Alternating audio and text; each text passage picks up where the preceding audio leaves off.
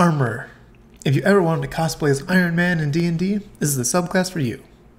You, you have the choice between shooting out your gauntlets and surrounding yourself with a force field, or having a chest laser that shoots lightning and being able to sneak around the battlefield.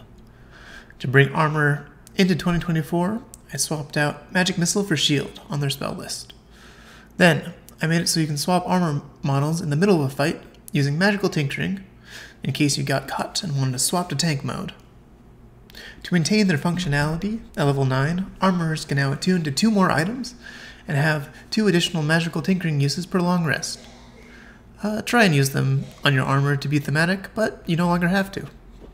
Finally, your Guardian's armor's special reaction uses at level 15 now are set on short rests so that you don't have to feel bad about using your abilities in combat more often.